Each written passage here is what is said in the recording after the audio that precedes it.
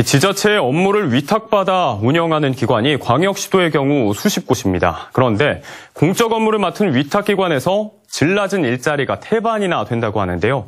대구시의 경우는 어떤지 양관희 기자가 보도합니다. 대구 디지털산업진흥원 DIP는 대구시에서 위탁받은 정보통신기술과 소프트웨어 관련 기업 유치 지원 사업을 합니다. 업무를 위해 건물 두 개도 함께 위탁받아 운영하고 있습니다. 그런데 DIP 고용 형태는 2년 미만 계약직과 간접 고용이 39명입니다. 총원 대비 정규직은 절반에 불과합니다. 이제 무기계약직을 전화를 하나 안 하나 그거를 이제 해결을 하고 있거든요. 전통시장 지원 업무를 위탁받은 대구시 상인연합회의 고용 사정은 더욱 열악합니다.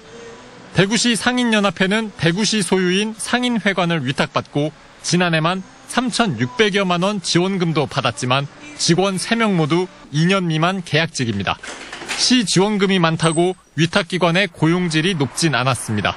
대구 경북 정보공개센터가 위탁기관 48곳을 분석한 결과 예산 지원 규모 상위 10곳 중 8곳의 정규직 비율이 30%대 이하였습니다. 대구시와 위탁기관이 체결하는 협약서를 보면 노동자 고용 승계 비율이 80% 이상이어야 하고 이를 어기면 재위탁을 하지 않을 수 있다고 나와 있습니다. 그러나 협약서 상일 뿐 현실은 전혀 다릅니다. 48개 기관 총 노동자는 908명, 정규직과 무기계약직은 57.4%에 그쳤습니다. 나머지 42.6%는 고용 불안을 겪는 계약직과 간접 고용이었습니다. 위탁 기간이 끝나고 다시 협약할 때 노동자 절반은 다시 고용되지 않는 상황이지만 같은 기관의 업무 위탁은 반복되고 있습니다. 정규직 없이 계약직과 간접 고용 형태로만 운영하는 위탁 기관도 16곳에 이르는 것으로 나타났습니다. 고용 승계 비율이 위탁 운영기관 평가에 제대로 반영되지 않기 때문입니다.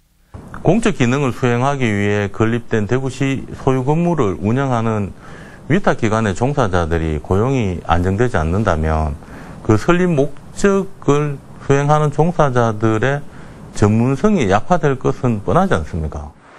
위탁기관 종사자들은 대구시가 위탁한 공적 업무를 하면서도 말뿐인 고용 승계에 고용 불안에 시달리고 있습니다. MBC 뉴스 양관입니다.